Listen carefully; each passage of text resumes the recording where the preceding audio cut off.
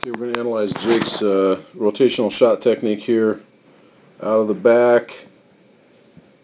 Let's see if he gets... What we're looking for is uh, left armpit over left knee over left foot. Um, he doesn't quite get there coming in, but not terrible.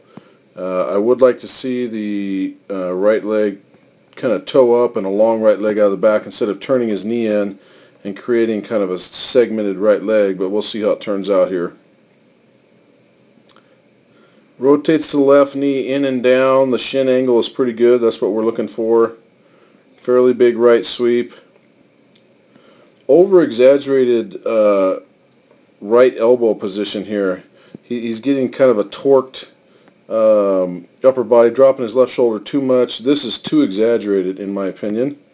He should be a little bit flatter and more in line with his body at this point. He's over-exaggerated it.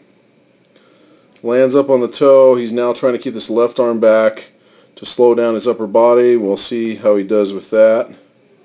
Now he's already throwing it open. He's already throwing that uh, left shoulder open and he's looking with his eyes over his left shoulder.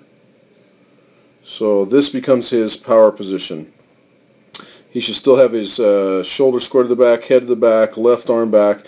Instead, he's throwing open with his upper body, and he's also unweighted. His body weight is shifted to his left leg. He does not have a whole lot of weight on this right right leg at this point, and it's not the knees are not very bent.